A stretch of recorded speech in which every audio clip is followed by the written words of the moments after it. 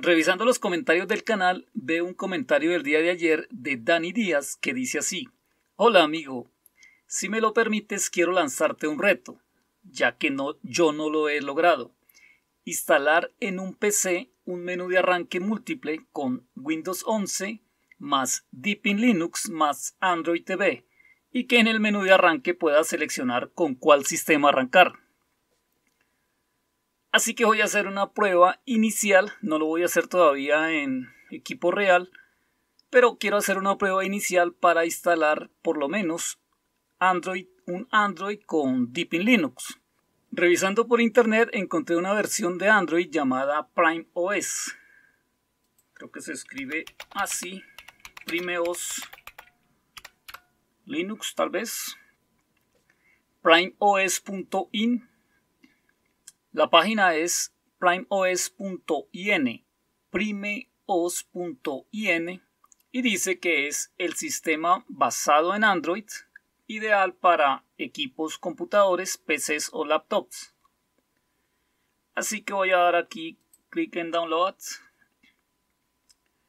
Y aquí dice Device, selecciona una opción. Vamos a darle X86 seleccione una versión. Aquí tenemos la versión 2.1 Mainline Standard Classic. Voy a intentar la versión Mainline. Mainline. Primera opción. Y el tipo, voy a descargar la imagen ISO y le digo Download. Perfecto, y aquí voy a descargar una imagen Prime OS Mainline raya 0.6.1. Dice que es del 2021, 1206, diciembre, diciembre de 2021. Y aquí le doy guardar. Bastante complicado el reto. No salgo de uno y ya entro en otro. Ok, creo que ya terminó la descarga de, la imagen ISO de Prime OS. Este menú, que esta ventana que me sale aquí debe ser porque estaba creando discos o estaba quemando discos DVD con brasero. Así que me imagino que se configuró automáticamente esto. Cancelar. Ok, voy a salir de aquí. Voy a crear una máquina virtual. Voy a crear una máquina virtual con VirtualBox.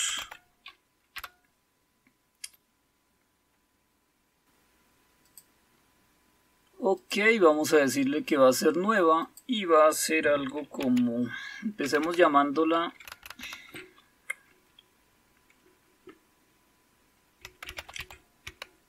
Prime OS, aunque no creo que funcione. Y aquí en imágenes última modificación. Prime OS selecciono la imagen. Aquí dice otro desconocido.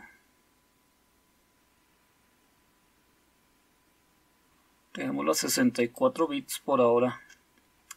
Other Unknown 64 bits y démosle siguiente.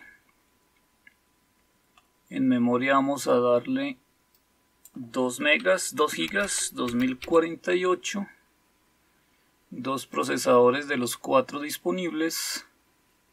Habilitar EFI. Dice que quiere Windows 11 habilitémosle EFI. Aunque no voy a hacer y el tamaño del disco si lo hacía con Deepin, Deepin creo que exige por lo menos 60 gigas. Vamos a darle 100 gigas de tamaño. Y aquí le damos Next.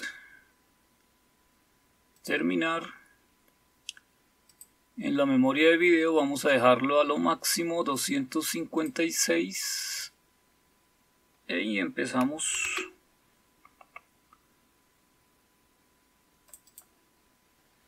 Nos santiguamos y arrancamos PrimeOS, PrimeOS Live.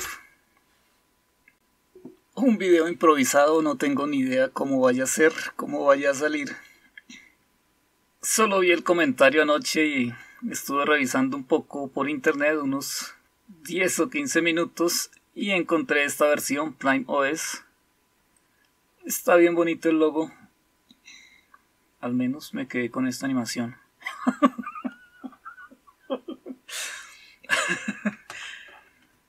Al menos me quedé con la animación. Descubrí esta animación. Prime OS. Welcome to Prime OS. Proceed. Proceed.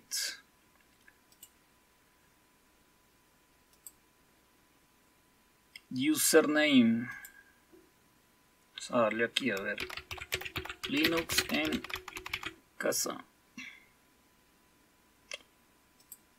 Time Zone. América, Bogotá. Country, Colombia. Costa Rica, Colombia. City. Ah.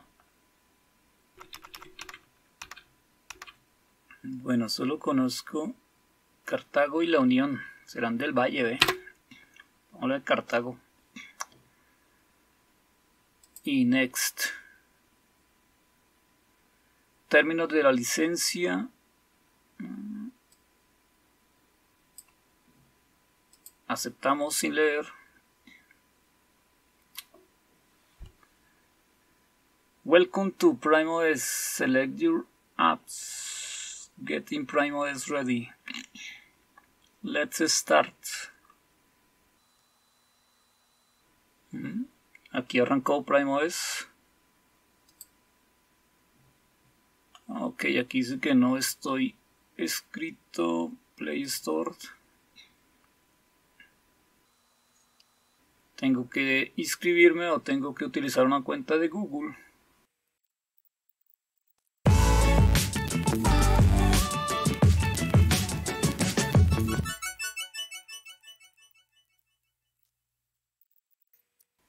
Ok, en teoría ya instalé Prime OS, solamente que el sistema no arranca si le quito.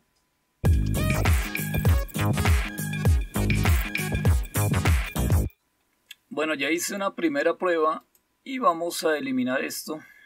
Eliminar, eliminar todos los archivos. Ok, estoy aquí en VirtualBox, ya hice una primera prueba con demasiados errores, pero voy a repetirla, así que voy a crear nuevamente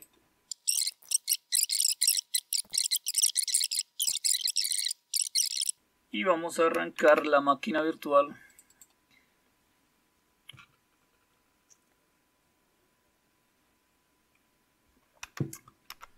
Ok, ya mostré el PrimeOS Live, así que ahora vamos a hacer el PrimeOS Installation directamente. Y aquí dice Seleccione las particiones, por favor seleccione una partición para instalar Prime OS. El tamaño mínimo es de 4 GB y el tamaño óptimo sería de 8 GB. Vamos a darle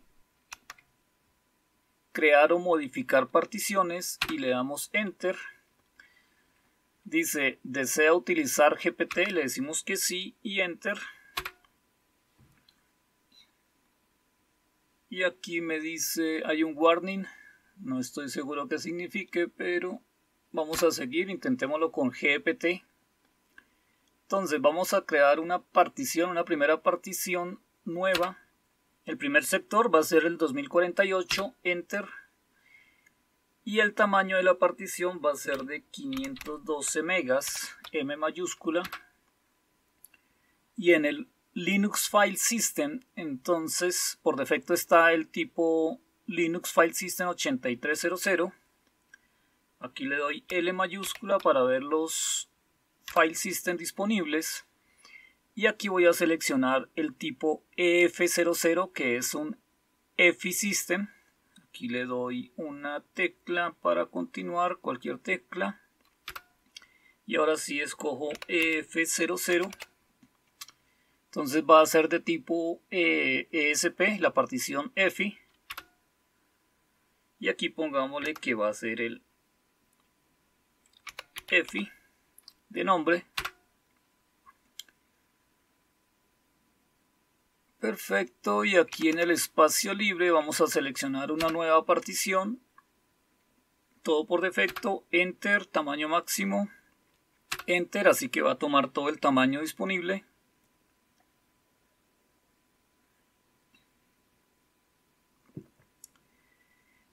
En el tipo está por defecto 8300 que es File System. Si le doy nuevamente la L mayúscula, por aquí debe estar 8300. 8300. Ah, podríamos también crearle una Linux Swap. Podríamos crear una Linux Swap. Aquí está 8300. Vamos a crearla. Vamos a darle Enter. Enter. Y Enter. En teoría creo una, una partición de 99.5 gigas que sería para, el, para la raíz. Pero voy a borrarla aquí y voy a darle delete. Entonces de nuevo voy a intentar crear una primera partición ya no va a ser de 99.5 gigas, sino que la vamos a crear de...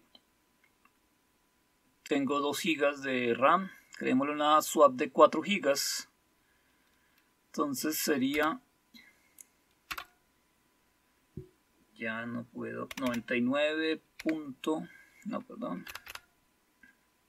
8765. 95.5 gigas. 95.5 gigas sería mi raíz. Del tipo sería 8300, perfecto. Y esta, pongámosle el nombre raíz. Ok, y en esto... Wait a minute. Me equivoqué. Porque la creo. Borrémosla. Delete. De nuevo new tamaño. Vamos a dejarla exacta. 95 gigas.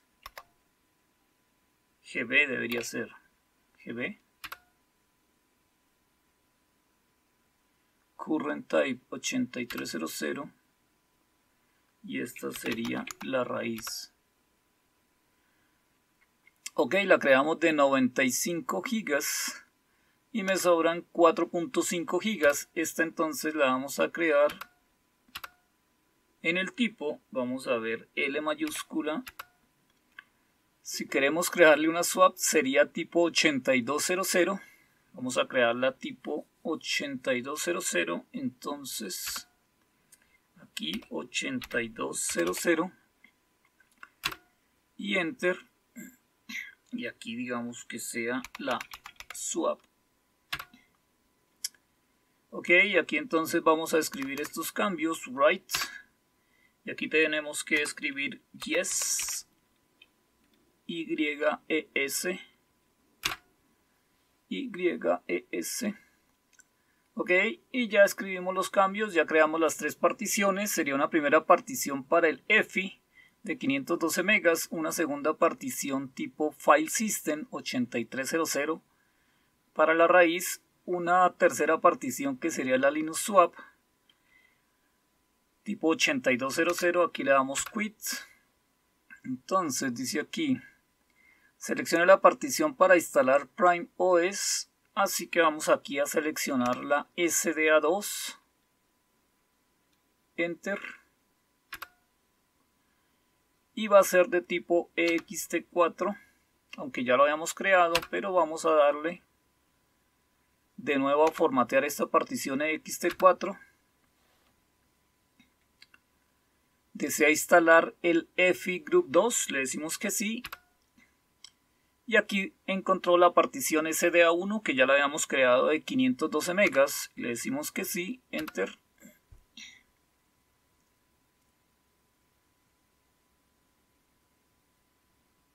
Y ya se está instalando Prime OS. Entonces, resumiendo, creé un disco duro de 100 gigas, le creé tres particiones. La primera partición, la SDA1, era de 512 megas y la creé con tipo EFI File System. La segunda partición, que la creé de 95 gigas, sería tipo Linux, que era el tipo 8300, y la formateé con el formato ext4 tipo Linux y creé una tercera partición para la Linux Swap que era el tipo 8200 y luego cuando el sistema me pide instalar el, el Prime OS aquí ya parece que terminó la instalación. Entonces cuando el sistema me pedía vamos a darle Run Prime OS ok cuando el sistema me pedía instalar la instalación, primero se selecciona la partición más grande, la SDA2 de 95 GB, y nuevamente la formatea en ext4, y después se encuentra la partición SDA1, y ahí instalamos el sistema EFI. Es posible, no me preguntó sobre la swap, es posible que la monte en forma automática, no estoy seguro. Pero aquí ya está arrancando Prime OS desde VirtualBox.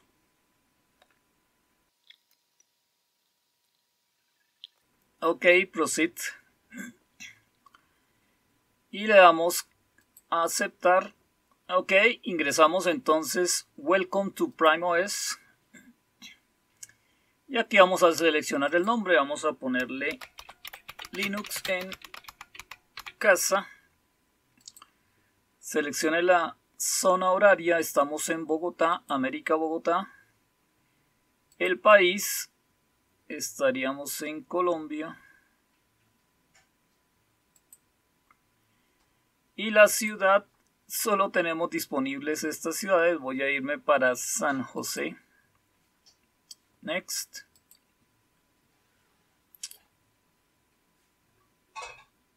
Aceptamos.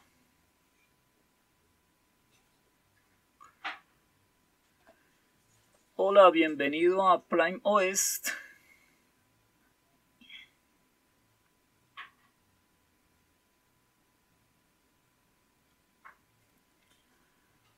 Y aquí tenemos entonces el sistema Prime OS. Si vamos a Settings,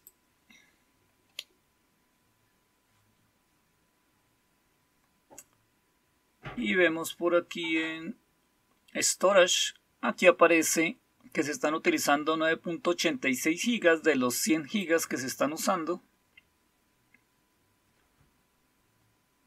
Y aquí aparece el internal share, el sistema, el almacenamiento interno, 9.86 gigas de 100. Y aquí en teoría aparece todavía 1.24 gigas. Esta debe ser la imagen ISO con la que instalamos Prime OS. Había hecho una prueba anterior sin utilizar el sistema EFI. Entonces voy a apagar la máquina y voy a quitar. Aquí lo voy a apagar. Power off. Voy a quitar la imagen ISO de instalación de Prime OS.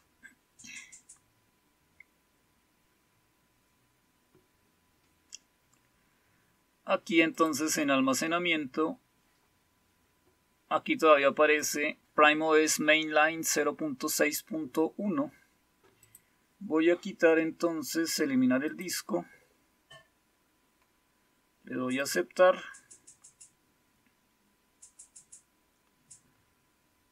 Así que ya en teoría solamente estaríamos arrancando desde el disco de 100 GB que le creamos tres particiones. Aquí tenemos un menú group, perfecto arrancamos Prime OS.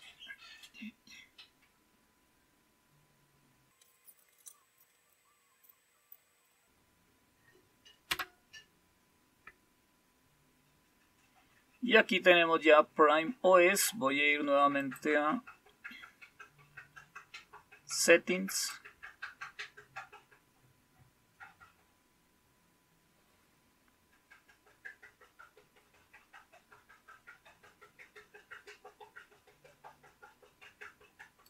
En almacenamiento aquí ya únicamente tenemos el disco duro de 100 GB, dice que se están usando 9.87 GB. Y aquí entonces ya tendríamos instalado Prime OS. Seguiría entonces instalarle aplicaciones con Play Store. Obviamente tendríamos que crear nuestra o crear nuestra cuenta de Google. Sign in o utilizar una cuenta que ya tengamos.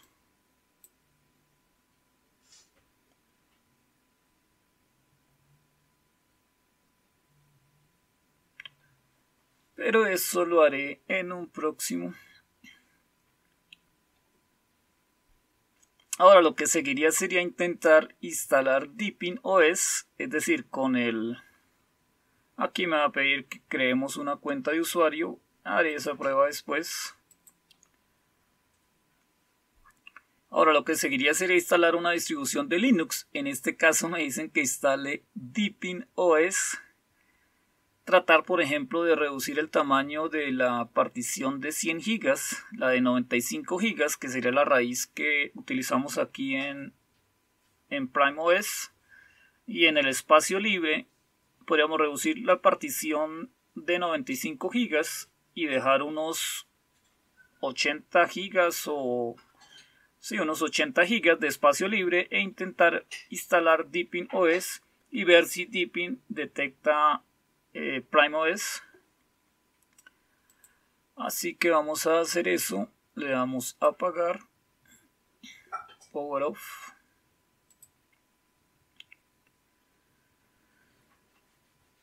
Seguiré, tal vez lo haga en un segundo video o lo deje en uno solo completo. Si no es que se bloquea mi Deepin Linux. Shooting down. Ah, no, sí, se apagó. Creí que se había bloqueado.